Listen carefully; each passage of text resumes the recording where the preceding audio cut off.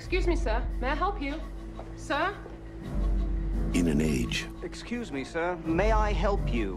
when terrorism knows no boundaries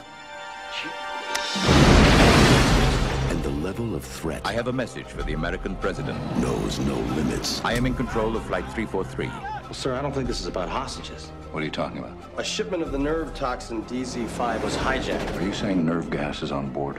Yes, sir, I am. They plan to use the DZ5 and the airplane together to detonate here, over Washington.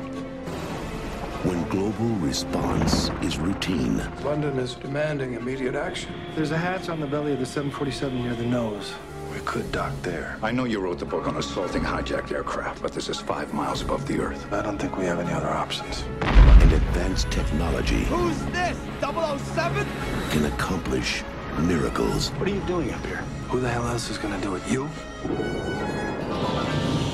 I'm opening the outer hatch. a life or death decision Hope there's a good movie on this flight. for 400 hostages in a plane Keep it going!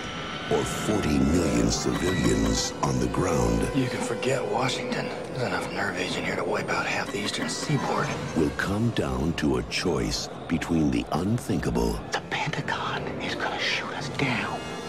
And the impossible. I'll reach our airspace in 85 minutes. The hatch has got to be closed now or we'll lose both planes. Order the F-14s to intercept the 747. Kurt Russell, I'm losing control of the airplane. Halle Berry, John Leguizamo, and Steven Seagal. We're not gonna make it! You are! Warner Brothers invites you We're really gonna shoot this plane down, are we? It's too late. They've already crossed the line. to fasten your seatbelts. This is directly from the president himself. Everybody down! Now you have your orders. Execute them.